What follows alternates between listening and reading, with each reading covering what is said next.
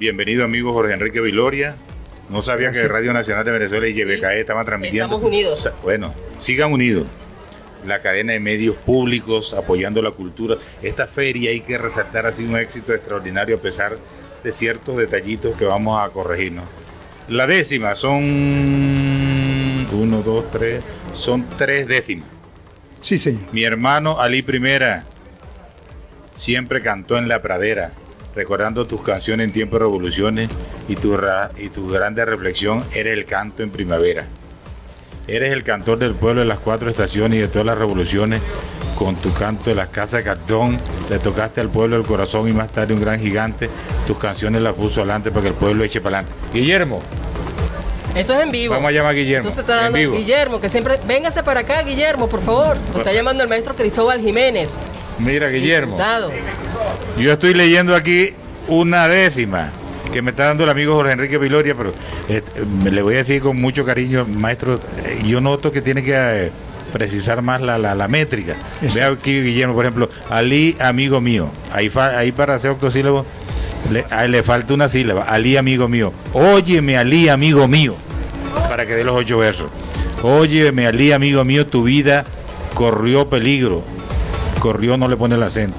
Con el perverso enemigo, con esa casta de ola, que son unos jala, ola de todo el imperio yanqui. Por eso la oposición, con esa conspiración, le hacen una traición a nuestra bella nación. Bueno, los cuatro últimos versos van todos en on.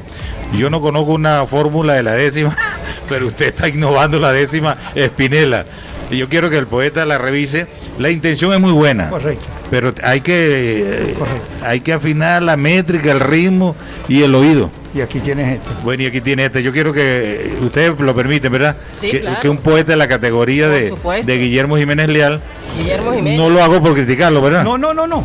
Eso Lo es muy Estamos importante. aprendiendo, maestro. Estamos aprendiendo bueno, todo. Jóvenes. sí, es bueno que aprendan. Ah, claro. Nunca es tarde para aprender. Gracias, gracias, mi maestro. Aquí ve. La opinión de una de, las- de esta que Ah, no. leí, que a mí me parece que Sí. A mí me parece, Guillermo, el hombre, que la idea es muy buena, chicos, la intención es muy buena, pero se me queda unos versos. Por ejemplo, mi hermano Ali Primera siempre cantó en la pradera, recordando tus canciones en tiempo de revolución y, y tus grandes reflexiones, eres el canto en primera, eres el cantor del pueblo. A, a ti no tiene ni la ni la fórmula tradicional de lo que era la décima, ni la fórmula espinela. Es décima porque son 10 versos, pero usted tiene una fórmula nueva ahí, ¿no? No, que son 6 versos nada más. Correcto. Lo completa aquí, porque esto se va para aquí. Es la expresión. O sea, Pero aquí estamos vamos para vamos a leer uno que sea aprender. de 10, por ejemplo, este. Eso.